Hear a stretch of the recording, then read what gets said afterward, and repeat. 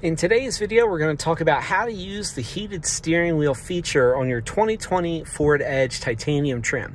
Uh, so a lot of folks are familiar with heated seats. A heated steering wheel something that's come along a little more recently.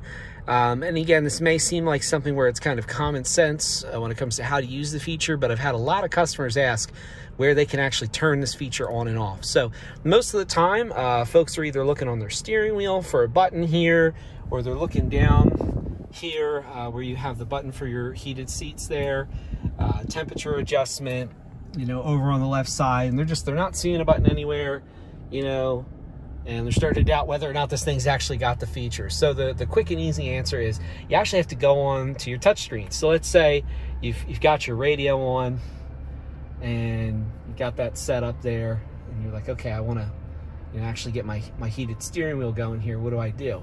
So you just click over uh, to the home button here at the top, and on the right hand side, you'll have a button for the heated steering wheel.